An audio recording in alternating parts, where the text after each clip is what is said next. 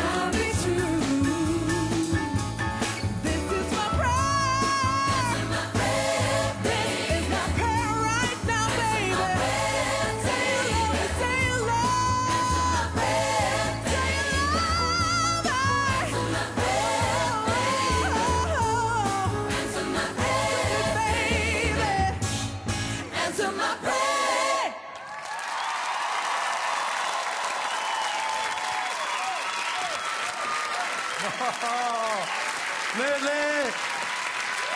Nydelig! Ege Marie, sist fredag så sa du til meg at eh, det å synge etter Trine, som sang for dere sist uke, var som å hoppe etter Wirkola. Men jeg syns du hoppa bra, jeg, gitt. Ja. Er det en lettelse? Veldig. Ja. Veldig fornøyd. Du, Jørgen. eh, har du skrevet noen autografer på skolen ennå, eller? Eh, nei.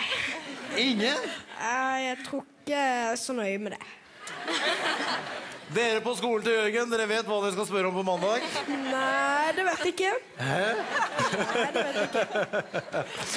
Ja, Fantastisk eh, opptreden. Alle er fornøyde? Ja. Grønne og skjønne.